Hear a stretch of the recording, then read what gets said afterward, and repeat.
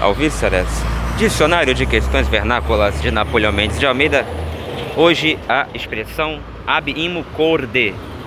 Ab imo corde. Locução latina que significa do fundo do coração.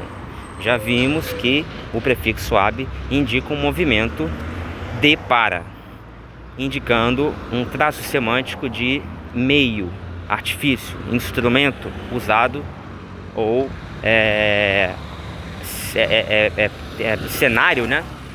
É, contexto no qual se passa alguma ação, no qual se executa alguma ação ou, ou atitude.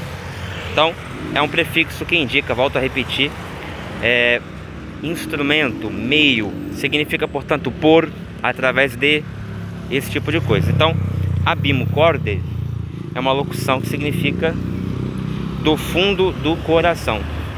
Corde significa, não é corda não, tá? Corde significa coração. Lembrando que em latim, cor, né? Significa, corde significa coração. Corde está tá flexionado, né? Mas no, salvo engano, no nominativo é cor, né? Então, é, corde significa coração. Então, abimocorde significa do fundo. Esse imo, imo significa fundo, ok? Muito bem, então agradeço-lhe abimocorde, ou seja, agradeço-lhe do fundo do coração, ab imo corde. Eu posso então usar qualquer outra expressão. É...